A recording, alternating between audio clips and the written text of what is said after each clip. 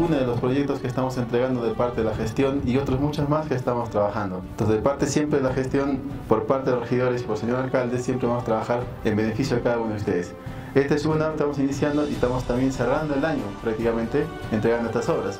Pero el año entero vamos a seguir trabajando para que ustedes, que ustedes soliciten dentro de las obras o las necesidades que ustedes tengan para poderse desarrollar. Y agradecer también a la parte técnica, a los trabajadores, por haber hecho realidad esta plaza. Y cada uno de ustedes también que la misma población ha trabajado.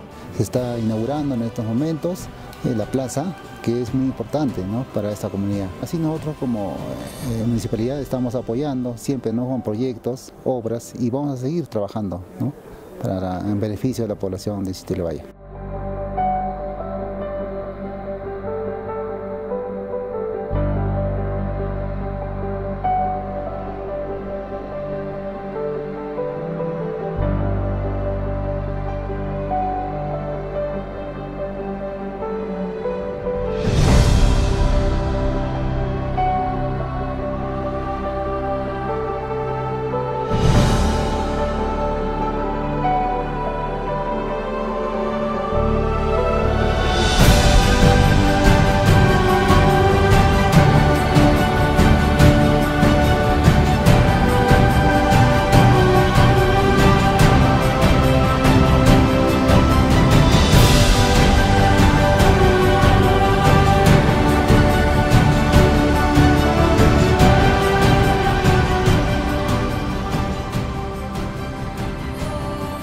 Municipalidad Distrital de Ilabaya. El cambio lo hacemos todos.